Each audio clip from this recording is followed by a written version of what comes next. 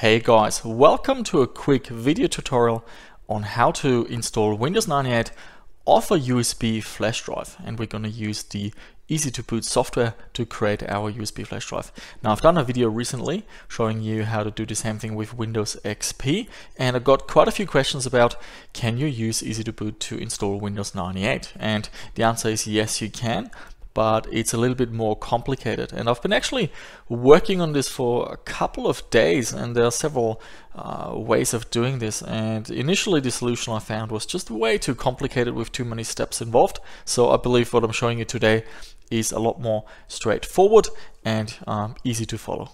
I will put all the links to the downloads down below in the description. You need to go to the easytoboot.com website and download the easy Easy2Boot uh, executable and then install it.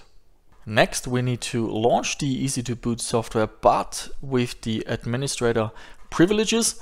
On the left side, select your language for the keyboard.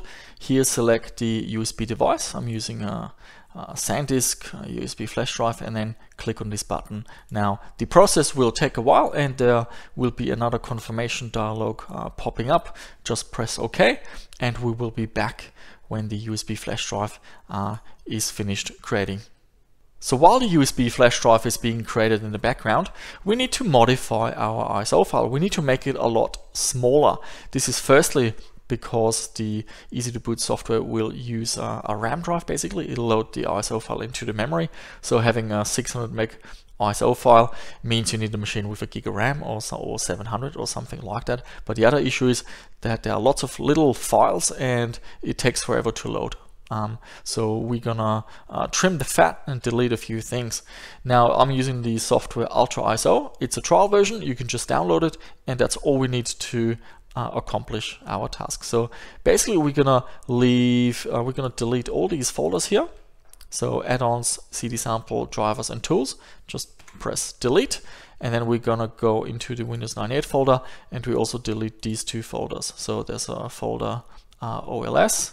Let's get rid of this one and tour, get rid of this one. So now our image is down to 120 megabytes and this is just a quick edit because I forgot to mention this the first time around. I highly recommend that before you uh, save your new ISO file that you go into the Windows 98 folder and you add the USB storage driver. I will put a link to that one down below in the description because very likely um, if you didn't if you're dealing with a machine that doesn't have an optical drive or doesn't have a floppy drive you gotta have a way of adding drivers to that machine and the USB storage driver does exactly that. So I'll put a link down below in the description where you can download that USB storage driver and I highly recommend that you include it into your ISO image so that you can then uh, after the installation just run it and then load all your stuff from USB. We will save our new ISO so save as I'm gonna save it onto the desktop and I'm gonna call it tiny Windows 98 SE and it off it goes and it saved the ISO file.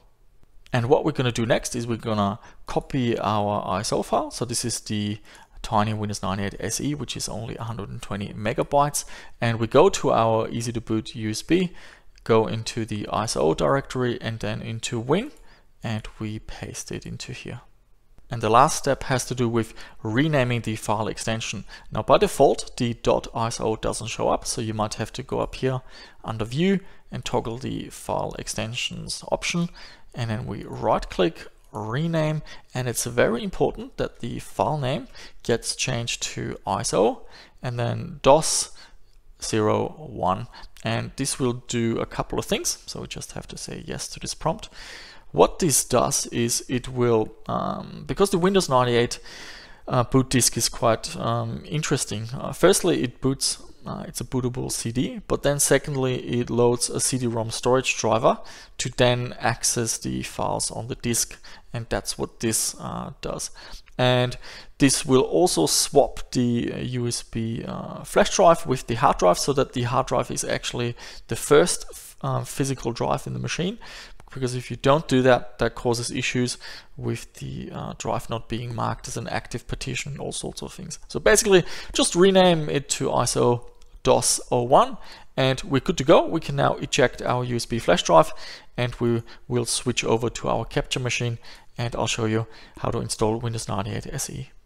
Okay guys, so here we are on our retro PC. I just press F8 on the keyboard to get into the boot menu because we need to uh, boot from the USB flash drive rather than the hard drive. We can see our hard drive here, it's an 80 gig SATA. Uh, SanDisk is the option I selected. Now uh, the specs of the retro PC will be below in the description for you to take a look. Here we have Easy2Boot loading up. We go into the Windows boot menu, then into Tiny Windows 98 SE, that's the ISO file, and it's gonna load that. Basically it's gonna copy everything into RAM. And the way it's gonna uh, configure things is the uh, A drive will be the floppy image with the, uh, the boot floppy. The B drive will become the CD with all the files from the ISO image and C will be our hard drive. And what we're to do uh, once this is loaded, we will partition the hard drive first. Then we need to reboot our machine. Then we'll format the hard drive. Then we'll copy the Windows installation files onto the hard drive. And then we run setup. Okay, contents of CD are now on drive B. Press enter to continue. So we're pressing enter. We're choosing boot from CD-ROM and then we say start computer without CD-ROM support. On A, we'll we find the boot floppy. On B, we find the contents of our ISO image, which is the Windows 98 uh, disk. And on C is the hard drive. I've done a previous installation, but we're gonna wipe that. So we go back to A, type in fdisk, press yes, and yes. And you can see if you look carefully, there's an option number five, change current fixed disk drive. This option appears if you have more than one hard drive. So let's have a look. Press uh, select five, press enter. We can see two hard drives. The second one is actually the USB flash drive with 8 gig. The first one is the hard drive. It doesn't show 80 gig, it shows like uh, 10 or something, and that's a bug in fdisk. It's just cosmetic, don't worry about it. If you want to know more why that is, you can just Google it. It has to do with uh, the limitation of working with 16-bit uh, numbers basically. So we're gonna first delete the existing partition. So we go option number three, delete primary partition, and we say yes, and then we have to type in the label, which was uh, retro underscore PC. Enter, and the partition is gone. So if we go in option number four, display partition information, there's no partition, so now we can choose option number one, and create a primary partition. This is going to take a while, but we're using a SATA hard drive on a SATA controller, so it doesn't take nearly as long um, as compared to if you're using an IDE hard drive. Here it's asking us if we want to use the maximum available size and make the partition active. We want to do that, and it's to test the, uh, it's to verify the drive integrity one more time. And here we go, the primary partition is created. We press escape one more time and another time and now we need to restart our machine. I'm pressing F8 again because we have to reboot into our Easy2Boot USB flash drive one more time. And just like before, we go into the Windows boot menu and we select our tiny Windows 98 SE ISO image. Okay, once again, we choose option 2 and then starting the computer with the LCD-ROM support, we go on to B, which is the contents of the ISO, and the format program is uh, in the Windows 98 directory. We go format, and then just uh, C colon, press enter, yes.